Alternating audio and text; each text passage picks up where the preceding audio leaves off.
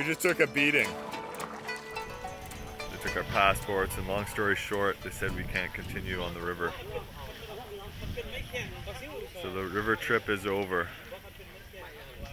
All right, well, as you can see, I'm walking. Funny enough, I'm walking in the exact direction that I came from this morning. And we actually stayed just over there at another temple last night. There was actually a fire, a house lit up in fire. We heard these screams like, ah, ah, ooh, ooh. And we are like, what the hell is going on over there? And then we saw these flames coming up. Oh shit, there's a house fire. By the time we got over there, the house was fully up in flames and there was nothing we could do. We felt sort of awkward standing around because people were in pretty serious agony and pain. And we couldn't really help because we didn't speak the language. Everybody was okay though. It's obviously pretty traumatic. A bunch of kids crying, grandma's like wailing.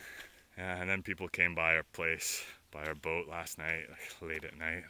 And I think one of the guys was like the cop guy and he had time to think what he's gonna do with us and took a photo of our boat in the night. And that's when he's like, oh, they can't, what do you think? Who do these Falang think they are? They can't paddle down the Mekong. That's not allowed. Unfortunately, the boat trip has come to an end.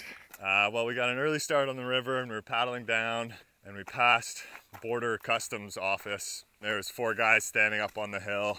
Shortly after, we heard a boat coming down on our tail and slowed down right beside us and we knew pretty much instantly that they were gonna harass us. They made us paddle back upstream to the place. They actually offered to tow us, but I was, I was like, no, no, no, no, I paddle. And thankfully they were cool with that. And they brought us over to the office and made us wait for what seemed like a long time. It was probably 10 minutes. Then they came and got our passports, and then um, our law says that uh, you know, foreigner can't be paddling down the river like this. I think it was bullshit. I don't think there is a law that says that you can't paddle down the Mekong River, but I had heard that they have issues with it, so I wasn't surprised. I wasn't that bummed either. I thought we were going to get harassed a lot earlier on in the trip, but I thought that if we got past Vientiane, that would actually be okay. But I'm gonna sign this thing and give us our thumbprint. Thankfully, they didn't fine us anything or try to get any money out of us.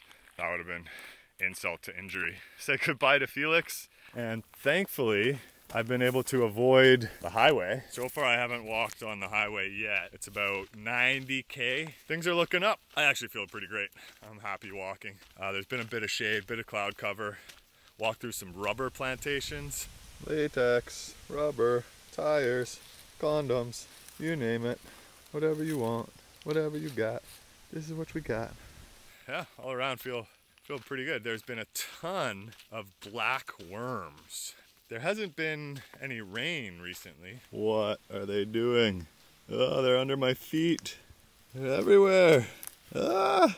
Ah! Ah! They look hungry. Oh my god. What are these things? Freaky.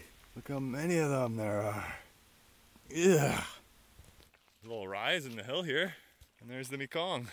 And Thailand over there on the other bank. See the temple over there? Oh shit. Well, I'd actually thought about this walking uh, along these small trails uh, where not many people walk along. I thought there might be traps, and sure enough, I just let one off. Snare, pretty pretty classic snare trap here. Thankfully that thing probably wouldn't have done much damage. It's actually a pretty poorly designed snare. Oh, I guess that works. Yeah, it gets, gets whatever it is right around the neck. I'm guessing that's to catch a dog or a cat, maybe a big cat. Maybe there's tigers around. That'd be cool. Anyways, I just glanced the top of it up here and it flung up, so it's somewhat effective, I guess. I'm gonna have to keep my eyes out as I walk forward.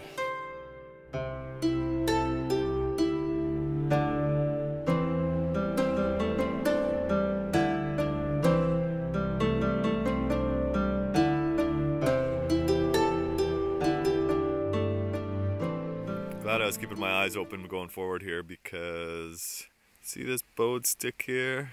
And I don't know if you can see the wire but the wire goes right down to another snare. Could easily get my foot in there.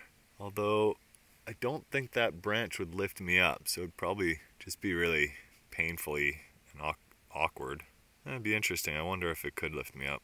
I don't think so. I'm not gonna try how about we avoid the snare this right here has got to make it into my top five favorite fruits. I'm used to seeing them yellow in South America, but in Southeast Asia, they are purple and they are delicious. Maracuya or passion fruit. Mm-mm-mm. They don't call them passion fruit for nothing. They are uh, a well-known aphrodisiac. Don't you love that word, aphrodisiac? Pretty like seedy juiciness inside. You can eat the seeds. Super sour, super delicious. I love them so much. I usually just crack them open like this and then spoon out. Oh yeah. Mm. Aphrodisiac. Don't you love that word? Afro, Afro, aphrodisiac. Fruit. Aphrodisiac. Afro, aphrodisiac. So delicious. Aphrodisiac. Afro, aphrodisiac. So it's been quite nice to get off the highway, get onto some dirt roads with less traffic. It's just something that comes along with that.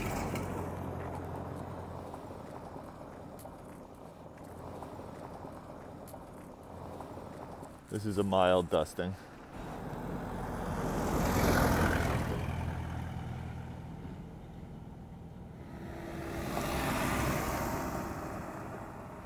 This is the scene at the temple right now. We've got a market happening with a thing where you can throw darts at a balloon and win drinks, pop and soy milk and stuff like that. And some techno beats dropping. They stopped them for about an hour while the monks did their praying. Now it's back on, and I'm sleeping right here. This is where I'm gonna sleep. I don't think this music is gonna go all night long. I really doubt it. I just stepped on this thing. Chúc chúc chúc chúc chúc